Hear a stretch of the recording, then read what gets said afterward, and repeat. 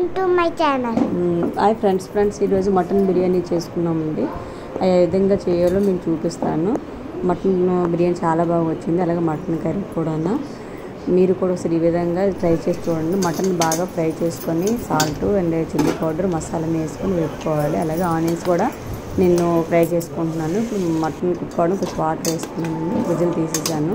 ఇప్పుడు దీన్ని మనం వాటర్ లేకుండా తీసేసుకుందాం. అలాగే బాయిల్ చేసిన వాటర్లోనేమో మసాలా దినుసులు అన్నీ వేసేసాను.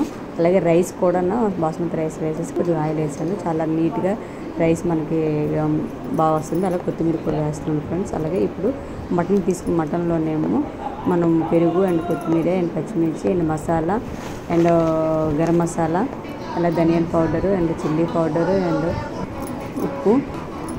పసుపు ఇందులో వేయించా ఫ్రెండ్స్ అలాగే నిమ్మకాయ కొంచెం ఆయిల్ వేసి మనం బాగా కలిపి పెట్టేసుకోవాలి మ్యాగ్నెట్. మ్యాగ్నెట్ బాగా కలిపెట్టి కొంచెం సైడ్ ఉంచుకోవాలి. అలాగే ఆనియన్స్ కూడా వేపి అందులో వేసేసుకొని పుదీనా ఈ మూడు కలిపి వేసేసుకున్నాం. నేను డైరెక్ట్గా అందులో వేసానండి మీకు చూపించలేదు నేను. ఇప్పుడు ప- పైన గార్నిష్లా చూపిస్తున్నాను. ఆల్రెడీ అడుగు నేను మటన్ వేసేసి పైన రైస్ వేసేసానండి. దాని పైన నిమ్మకాయ పిండుకుని టేస్ట్ ఉంటుంది. అలాగే ఆయిల్ కొంచెం నెయ్యి అండ్ కలరు పసుపు ఇలా వేసుకున్నానండి.